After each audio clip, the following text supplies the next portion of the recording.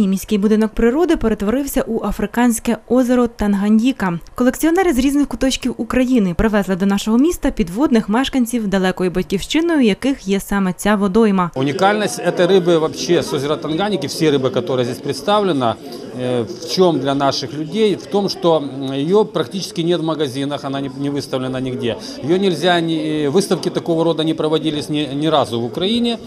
Р- Люди ее не могли видеть только где-то в интернете, на фотографиях. А чтобы увидеть вживую, э, этого такого не было. Мы Дмитро Ліник з африканською рибою потоваришував 10 років тому. Каже, за цими представниками акваріумного світу надзвичайно цікаво спостерігати. Они отличаются от всех остальных в своем наблюдении в том, что основная масса не имеет очень ярких каких-то цветов.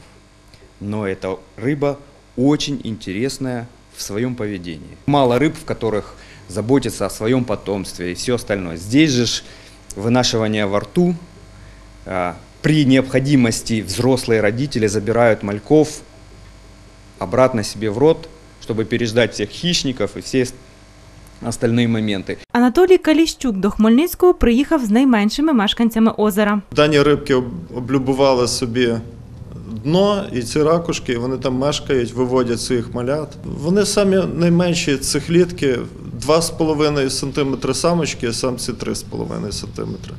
Дуже гарненько мальків доглядають, в ракушках постійно проводять своє життя. Екзотична риба дещо вибаглива у догляді в акваріумі. Потрібно постійно підтримувати відповідний температурний режим та облаштовувати біотоп. Однак, кажуть колекціонери, справа того варта. Созерцание рыбы в аквариумах очень успокаивает. Даже бывают там какие-то неурядицы там на работе, еще где-то. Приезжаешь домой, покормил рыбу, сел минут 15-20.